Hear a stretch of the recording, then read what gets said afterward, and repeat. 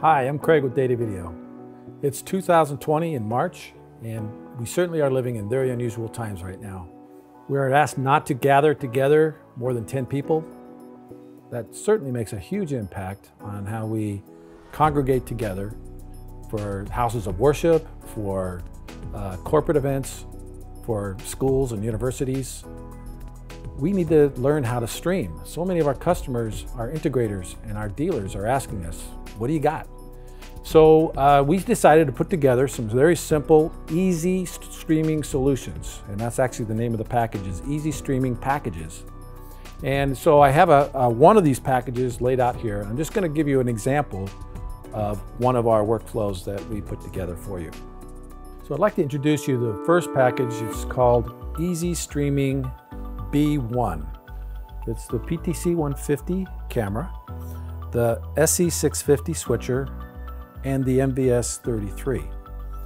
The tablet, of course, is something you can add if you'd like. I'll explain what that is for you later. And also we have the router, which is also optional. So we'll just kind of go through this workflow.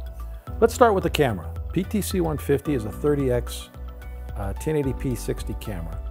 And you can connect that through SDI or HDMI to your switcher. The uh, NVS33 is your streaming device, and that has uh, also recording on the front here with an SD card, not included. But the uh, NVS33 will allow you to stream to Facebook, YouTube, whatever you'd like. The SE650 switcher is a four input switcher, two SDI, two HDMI. The nice thing is if you're using this for a house of worship application, I can bring it in a laptop for my ProPresenter or for Easy Worship or something like that, or PowerPoint. And you can then switch to that, and then you can also key different uh, graphics over your video, like a lower third. That all can be done here on the SE650. Also has a built-in audio mixer. So the output of this will go to a monitor like I have here, or the NVS 33. Well, I should say and the NVS 33 because then I have, uh, that can go in SDI or HDMI. So there's the workflow. Now what about the tablet? What is that for? Well, I, that's why I have the router here. The router basically allows me to talk to the, uh, the camera and be able to control it with this free app. It's called the SE500MU app. You can go to the Android store or iOS store, download this for free.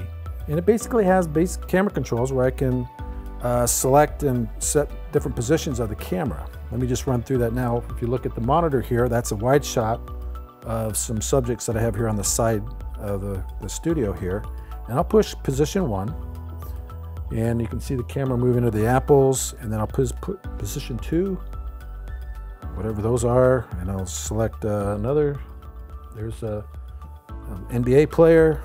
And then I push another button for number four.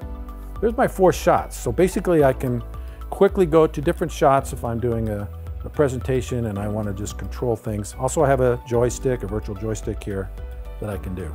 Control my zoom and all that. Very nice, very powerful. Can access all the features on the camera, including white balance, zoom and focus. There you have it. This is the easy streaming solution called B1. If you want to look at this uh, as a package, it's on our website. You can also click on the link below in this video and it'll take you right to all our different workflows that we have available for streaming. We have lots of videos on how to use all this gear, including the NVS33 and how to go to Facebook, how to access the web interface on the NVS33. So we have all the tools that you want on our website. You're in good hands. You've got lots of tools and lots of resources on how to stream to your favorite platform for your audience. Thanks for watching.